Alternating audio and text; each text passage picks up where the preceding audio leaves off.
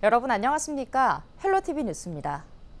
우울증이 있는 아동 청소년이 늘고 있습니다. 치료가 중요한데 낙인이 찍힐까 두려워 치료받지 않는 경우가 많다고 하는데요. 아이들의 우울증 그대로 두면 정서 행동 위기까지 불러올 수 있습니다. 김소영 기자가 취재했습니다.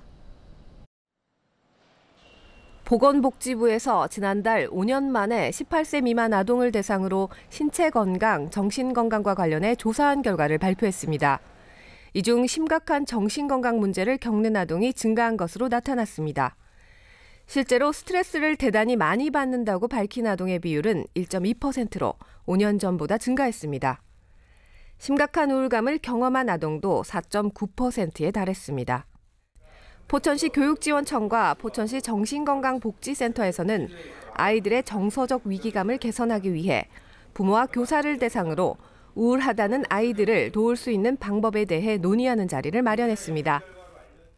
어, 학생 맞춤 통합 지원 교육복지 사업으로 저희가 교육복지 우선 지원 사업, 아, 학교 안전망 사업을 진행하고 있는데 학교에는 다양한 학생들이 어려움을 가지고 있습니다. 그래서 그 중에 한 꼭지로 정신건강센터와 그 학생들의 우울감 또는 자살 증가율에 대한 예방을 위해서 오늘 자리를 마련하게 되었습니다.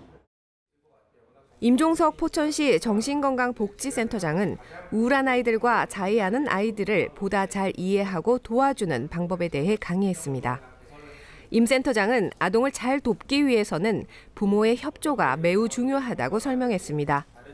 또 담임교사와 부모 면담을 통해 상담교사가 직접 상담하거나 증상의 심각성에 따라 공공 상담기관이나 전문 상담기관을 통해 정확한 진단과 의뢰가 필요하다고 덧붙였습니다.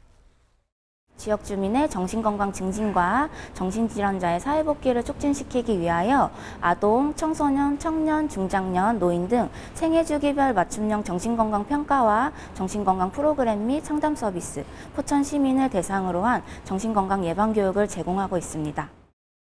늘어나고 있는 아동 청소년 우울증. 증상이 악화되기 전에 전문기관 등을 통해 적극적인 예방과 치료가 필요합니다. 헬로티비 뉴스 김소영입니다. 의사의 진료 없이 마약류 식욕 억제제를 가족이나 지인 명의로 처방받아 복용한 혐의를 받는 간호직 공무원들이 검찰로 넘겨졌습니다. 경기북부경찰청 마약범죄 수사계는 연천군 의료원 간호직 공무원 4명과 공무직 간호사 1명, 원장, 범행을 도운 의사 2명, 전 연천 군수를 불구속 송치했는데요. 특히 간호사들은 공무원이거나 연천군에서 고용한 공무직이라 군청에까지 불법 행위가 보고됐지만 고발은 없었습니다. 현행법상 공무원은 업무 중 범죄 사실을 알게 되면 수사기관에 고발하는 게 의무인데 의료원장과 전 군수는 이를 어겨 직무 유기 혐의로 입건됐습니다. 연천군 소속 보건의료원 간호사인 A씨 등은 2019년에서 2020년 초까지 펜타민 성분의 마약류 식욕억제제 디에타민정 등을 복용한 혐의 등을 받고 있습니다. 8일 오전 의정부 부용터널 내에서 토사가 흘러내렸습니다. 의정부 소방서는 8일 오전 7시 49분쯤 의정부 밀락동 부용터널 내에서 토사가 흘러내린다는 신고를 받고 출동했다고 밝혔는데요. 출동한 소방은 도로를 일부 침범한 토사를 안전 조치하고 1시간쯤 뒤인 오전 8시 53분쯤 배수 작업을 완료했습니다. 인명피해는 없었고 소방당국은 정확한 원인을 조사하고 있습니다. 양주시가 군소음 피해 지역 주민 340명에게 보상금을 지급합니다. 이번 보상은 군용 비행장, 군 사격장 소음 방지와 피해 보상에 관한 법률에 따른 건데요. 지급 대상은 노야산 사격장과 가남리 비행장 인근에 사는 주민으로 총 7,600만 원이 지급될 예정입니다. 양주시는 소음 정도, 거주 기간 등 심의를 통해 보상 금액을 정했으며 이의 신청 기간을 거쳐 이달 중 지급을 마무리할 계획이라고 밝혔습니다. 양주시가 광사동 토리 근린공원에 무장의 나눔길을 조성합니다. 무장의 나눔길은 보행 약자 등도 안전하게 이용할 수 있도록 턱 등 장애물을 없애고 경사도를 8% 이하로 낮춘 산책로인데요. 양주시는 올해 산림청 녹색자금 등 약 24억 원을 들여 토리 근린공원 안에 무장의 나눔길을 조성할 계획입니다.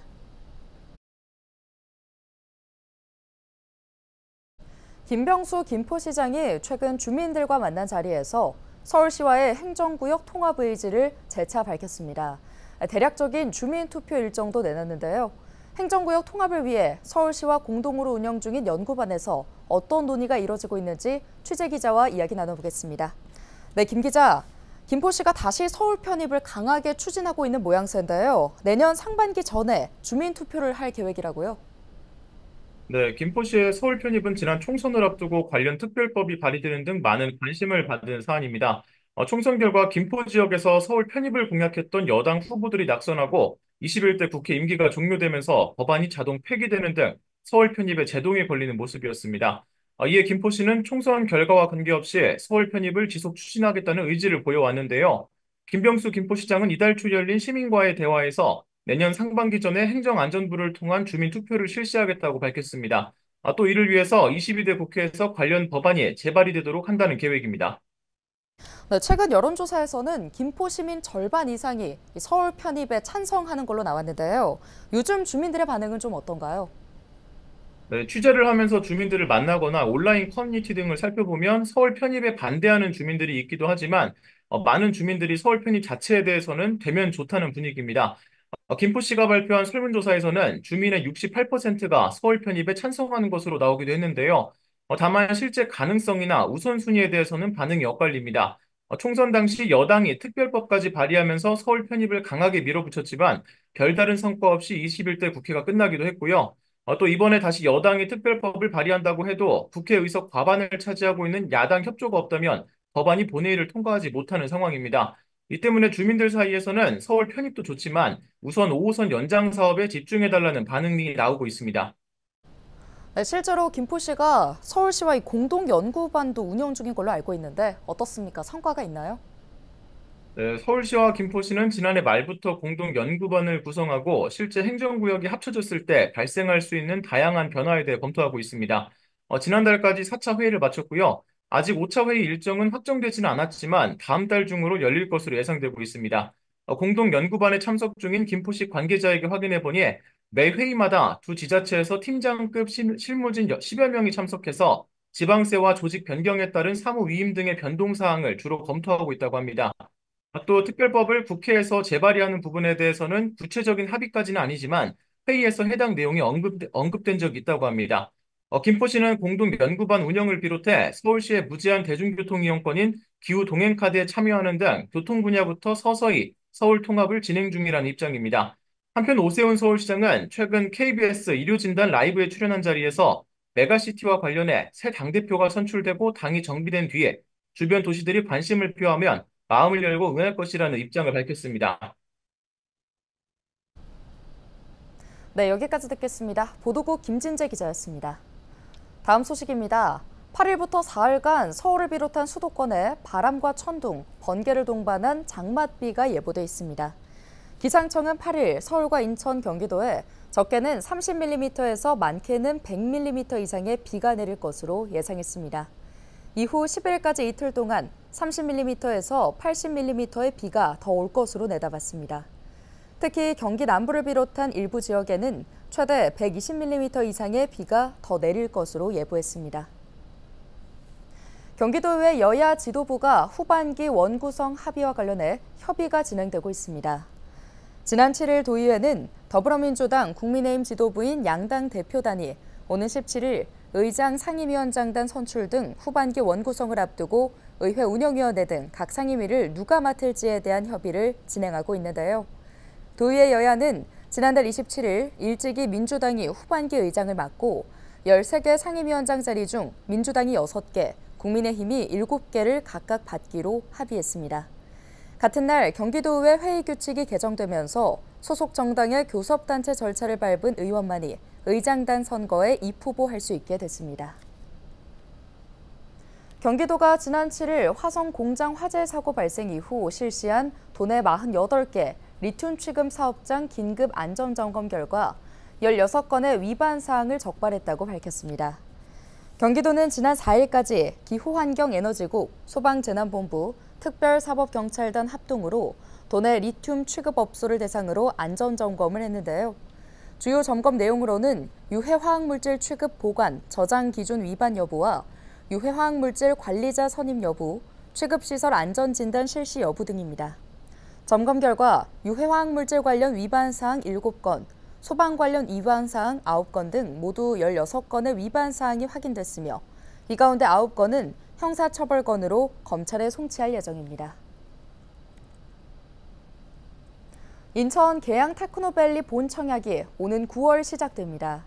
계양 테크노밸리는 3기 신도시 중 가장 속도가 빠른 곳으로 오는 9월 공공주택지구 A2, A3 블록에 대한 본 청약이 실시될 예정인데요.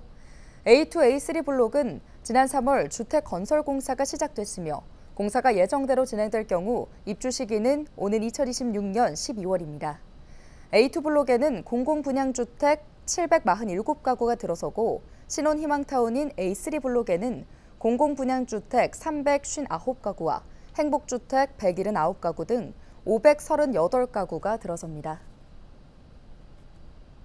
인천시가 F1 그랑프리 개최를 위한 전담 부서를 정식 가동합니다. 인천시는 문화체육관광국 관광마이스와 산하의 임시 태스크포스로 운영해온 F1 인천 그랑프리 대회 유치단을 이달 15일부터 국제행사 추진단으로 본격 운영한다고 밝혔는데요.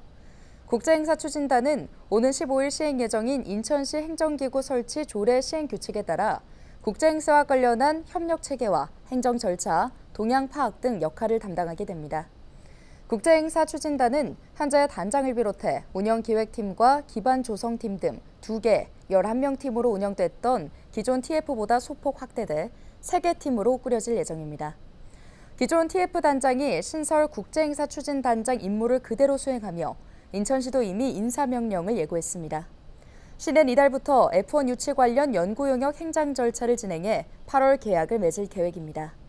이를 통해 F1 적정 대상지 선정과 대회 개최 효과 분석, 타당성 검토 결과를 내년 상반기 도출할 예정입니다.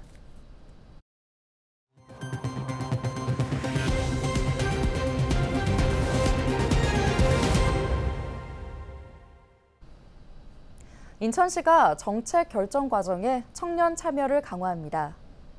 시는 최근 제2회 인천시 청년정책조정위원회를 열고 기존 위원회를 38개에서 168개로 확대했는데요.